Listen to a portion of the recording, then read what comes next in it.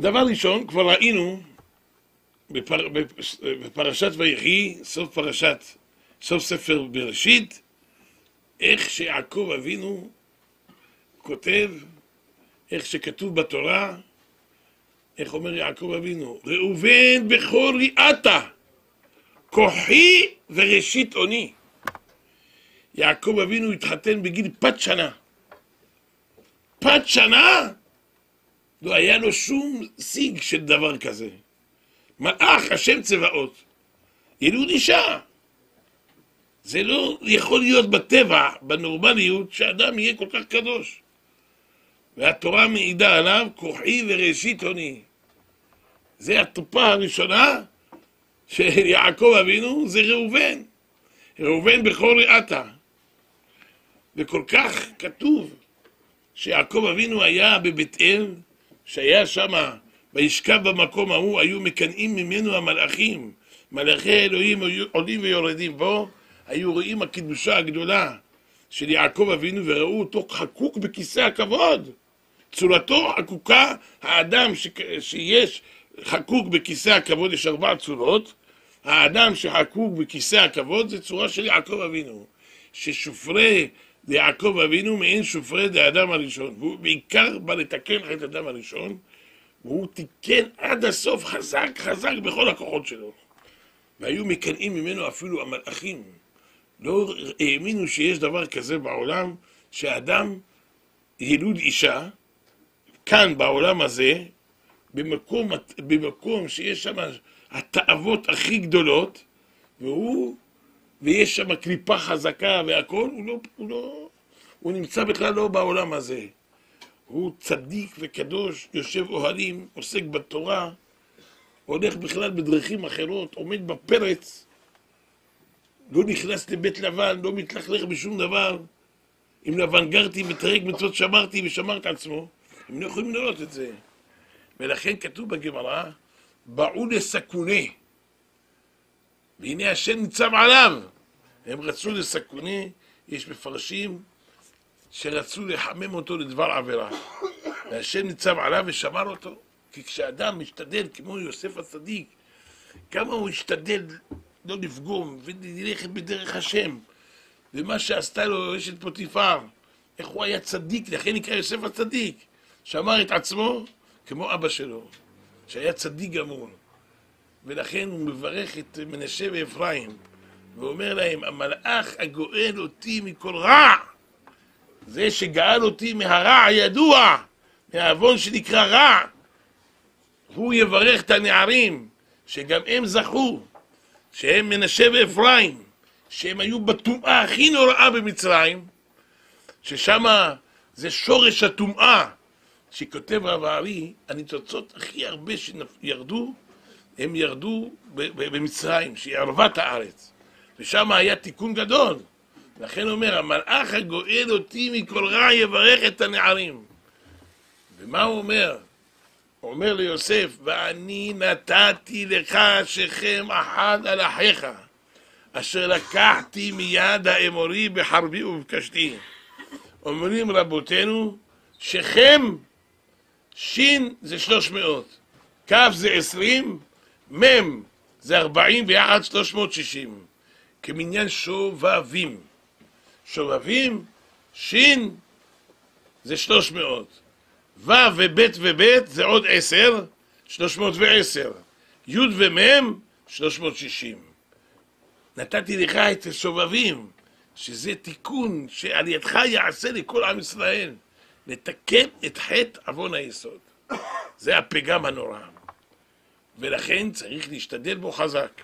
הוא אומר למעשה כל הימים של התשובה מרומזים בפסוק הזה. ואני, ו' שש, נ' חמישים, י' עשר, שישים ושש, כמניין אלול. א' זה אחד, ל', ו', ל', הנה אלול. ואני נתתי, נתתי, ואני זה, זה 67, כי יש א', אז בדיוק אלול 67. נתתי, זה בדיוק גימטריה ראש השנה. נתתי לך גמטריה תשרה, שזה הימים שעושים בהם תשובה. שכם זה שובבים. אלה הימים שעושים בהם תשובה, כל זה, מי, זה בעיקר את העניין של יוסף. זה העניין של היסוד. וזה חמור מאוד מאוד. כל הצרות שאדם סובל זה בגלל החטא הזה.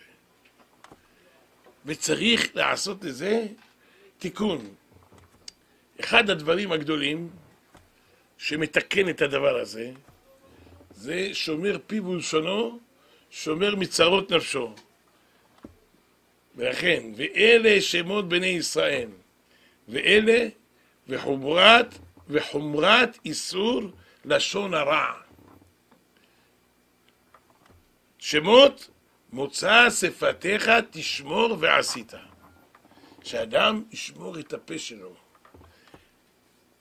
למה? יש ברית הלשון ויש ברית המאור. זה אחד קשור בשני. אם הפה למעלה, למה העליון פתוח, נפתח גם חס ושלום הפה התחתון. כשאדם שומר את הפה שלו, אז תדע לך שהוא גם שומר עוד ברית קודש שלו. ולכן, הבעל שם טוב אומר, אתם יודעים, נפשי יצאה בדברו. לכל אדם יש ניצוצי קדושה שצריך לתקן אותם. על ידי הדיבור מתקן אותם. על ידי הדיבור שהוא מדבר בדברי תורה, הוא גם מעריך את, הנש... את החיים שלו וגם הוא מתקן את הניצוצי קדושה. אבל אם הוא חס ושלום מדבר דברים בטלים וכל שכן דברים אסורים, שזה לשון הרע ורכילות וצרות, אוי ואבוי, גם החיים שלו מתקצרים, נפשי יצאה בדברו, וגם, אוי ואבוי, הוא פוגם מאוד מאוד, זה לא טוב. ולכן מסתלק ממנו החיות שלו, החיים שלו, על ידי שאדם שומר בלשון, גם לשמור הברית קודש. ועל זה אומר המורנו רבי יוסף חיים, עליו השלום, על מה שאומרת הגמרא, יש בגמרא, בפרק הבית והעלייה, במסכת במה מציעה, הגמרא אומרת, היה בית ועל זה קומה שנייה, הבית והעלייה. כאשר היה העליון שופך מים בבית שלו, לרחוץ את הרצפה, הולכים ומזיקים לתחתון. יורד מים מן התקרה ומזיק להם מי שגר למטה. הגמרא אומרת, מי מתקן? הגמרא אומרת, עניון מתקן. כשאתה תתקן למעלה, אז ממילא לא ירד מים לתחתון. אז אומר רבי יוסף חיים, זה העניין של ברית הלשון וברית המאור. מי מתקן? זה הפה למעלה מתקן. שאדם ישמור את הפה, לכן תראו פה בשובבים, בכל המקומות עושים תענית דיבור. תענית דיבור זה הציע לעשות את זה הרב נועם אלימלך. רבי אלימלך מניזנסק.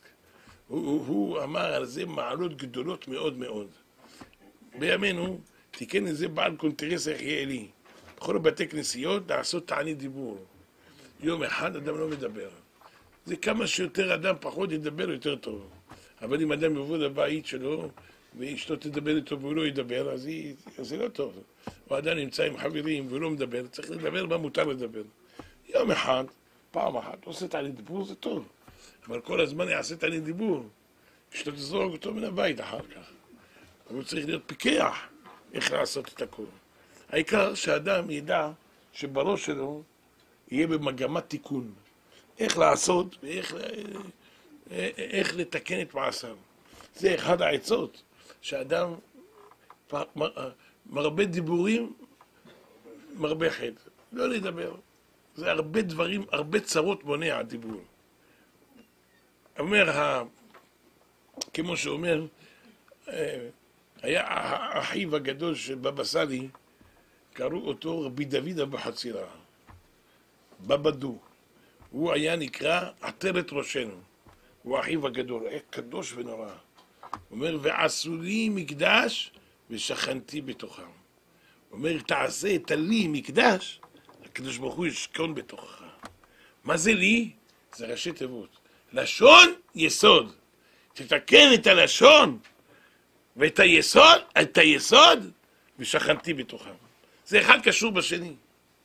ראינו בפרשה איך שהקדוש ברוך הוא אומר לו למשה, תשמע חביבי, אני רוצה שתלך ותוציא את בניי מן, מן הגלות. הגיע הזמן שיגאלו, שיצאו מהגלות.